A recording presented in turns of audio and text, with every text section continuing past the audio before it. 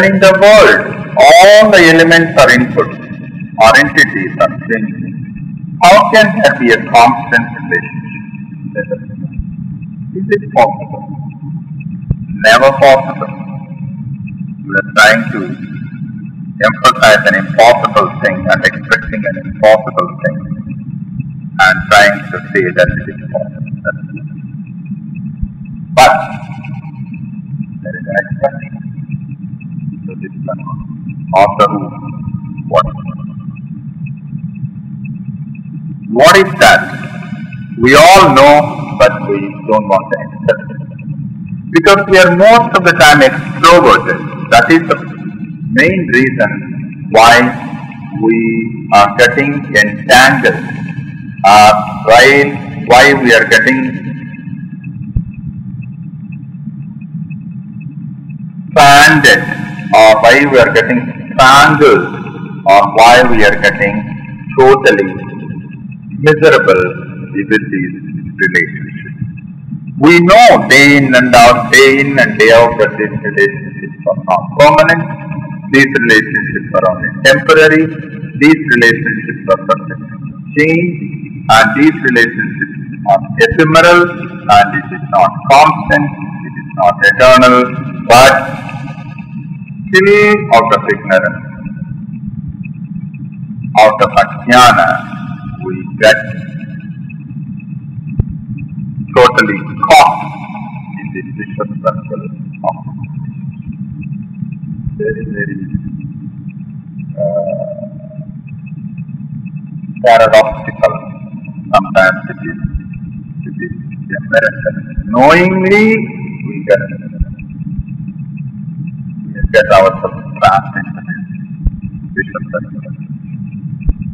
So, if at all there is one relationship, that relationship which is constant, which is eternal, which doesn't change, which is always permanent, that is the relationship, that is only one relationship, that is unique relationship, that is God it's the relationship between you and your God. It is the relationship between you and yourself. It is the relationship between you and your awareness. It is the relationship with, with, with your own self, with your own God who is residing and dwelling. With all the creations, animate, inanimate, is same because God knows that it is His creation and are all integral parts of His creation and Himself and He sees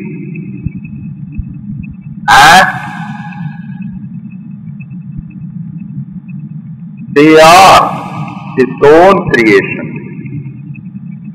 and not as a matter but the energy stored in the matter. That is, he clearly knows that it is his own amsha or an integral part. But in our relationship, we always see as a dvaita, as a duality, with a Bheda Bhava, with a second or third person, but we don't see the relationship as a first person as your own reflection of the Atman in the other person, as God sees, because God knows that it is His creation, He is the creator, He is the created, He is the creation. So for Him, there is no Bheda Bhava, there is no difference. So the question of relationship also doesn't come into picture because is one and the same. Where is the question of relationship there? The very word relationship vanishes for the God because it is His creation. It is He is the creator and it is created by Him. So creator, creation and the created, all the three are one and the same, so there is no question of relationship. That is why, even though you want to say that particular thing, that particular relationship, from our ignorant mind, from our egoistic mind, we have to say that it's the relationship between, in this jagat, in this Maya world, between the individual entity and the God is a permanent relationship because we are not separate from God, so we are one with the God, we are the Amsa of the God, but the integral part of the God. So that's what Paradoxically, even though there is a relationship, for our subject proper, the relationship constant, continuous, eternal, no change in that. Out of out of the individual's ego, out of the individual ahankara, out of the individual fallacy of the paradox, because he thinks that he is different from God, naturally there will be Dvaita Bhava, there will be, from his angle, there will be different types of relationships because sometimes we praise, sometimes we don't praise. Sometimes when the things are good, we go to the temple. Sometimes when the things are not favorable, we blame the God. So the relationship getting. So, but that's not the case with the God.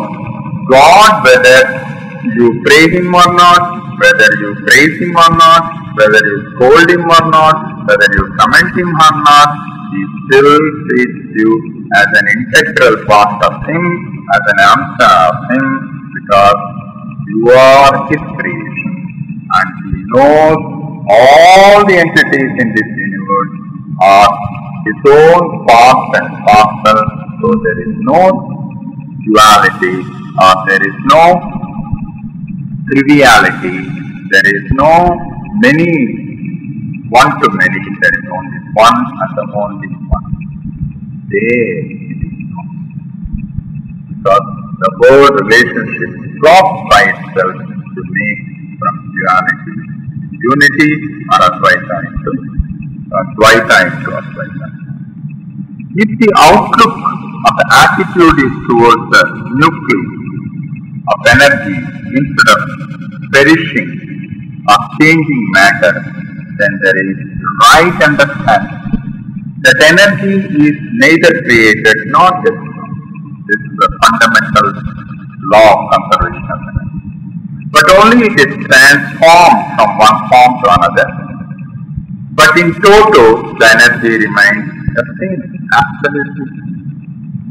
If this understanding is there, then there is no problem with the relationship. So, as an individual, we should be very vigilant, very alert and awareful about the eternal or the constant relationship with the God's creation, His energy, and finally, so the Atman, consciousness, which is beyond change or even a step ahead beyond any relationship. The very word relationship awareness will lose its significance because you are starting the relationship with the two entities or one to one or one to many entities. And finally, when you go into the into the non-dual aspect of the duality aspect, then where is the question of relationship? the very relationship doesn't stand, cannot stand because there is only one and one and only one unique creator created under creation. So all the things get merged because of that why the because of the non So at that level, if you are aware of that significance of that awareness of that non-duality of the Advaita, even though in this Maya or in this Jagat or in this deluded world, there appears to be different entities, there appears to be Dvaita Bhava, there appears to be one-to-many relationships, but the very awareness that the creation created and creator is one and the same and you are only an Amsha of the Lord, with this awareness, then we will be not subjected to any chanchala or unstable mind. With all this awareness, many times we fall into the trap of Maya by identifying ourselves as physical bodies because of our delusion or illusion or ego that I am the body. One, we are constantly aware that I am the soul, I am the Atman, I am the consciousness. And the same way, equally, when I also look into another person, the same phenomenon of the soul, of the Atman, of the consciousness, of the living embodiment of the God in him, then it is only a reflection of the supreme consciousness in all the human beings, then that particular relationship in this jagat, in this maya, in this deluded world will not create any Then the relationship will be permanent. Then the attitude will be different. Then the relationship will be constant. Then the relationship will be unique. And even though in the material world or in the mundane world, because of the time, physical changes may take place. Physical relationships may take change. Physical transactions may change. Physical environment may change. And the time may change. But still, we are aware that that particular entity, that particular self, that particular Atman, that particular consciousness is one and the same as it is dwelling in you, then your very outlook, your vision, your very insight change day by the relationship, even in this deluded world, or the Maya world, of the Jagat, will be constant because you are not bothered about the changes that is taking place in his body, mind and intellect. You are not bothered about the changes that is taking place from time to time in the environment. You are not bothered about materialistic changes. You are not bothered about the physical, subtle five, five gross elements which is changing, like earth, water, fire, air, and uh, space. Even though it appears to be changing, but it, it never changes because, as we said in the beginning itself, by the law of conservation of energy, only the personification of the energy, or the transformation of the energy into the different parts of the matter has been changed, but in, in, a, in a nutshell or in an essence, the energy never changes because energy is never created nor destroyed. That is the Shakti. That is Shakti or the energy or the, the Lord Himself who is the supreme energy, is the supreme force of the supreme creator and who is the creator himself. So the energy can never change, it is only transformed. So once this particular idea of uh, uh, individual human being, of the animal, of the tangible, of the intangible thing, we are aware of this particular concept, then the relationship, even in this Maya world, can be maintained because our outlook has changed. One is our outlook has changed because we are trying to see the Atman of the consciousness, of the soul, of the root, of the self, whatever you want to call, that is the indweller in every human being is changeless. But what is changing? The body, mind. What is changing is the time. What is changing is the apparent relationship it is changing. But in an absolute sense, the relationship never changes because it is soul to soul, it is Atman to Atman, it is consciousness to consciousness, it is root to root, there is never It is always a witness. It is always an awareness. This awareness of relationship, if it is properly understood with the absolute awareness, then any relationship so called in this world can be constant, can be eternal, and can be unique because of insight we have already got within ourselves by knowing fully well that I am not the body, I am not the mind, I am not the intellect, I am beyond these things, I am beyond the body, mind, intellect entities.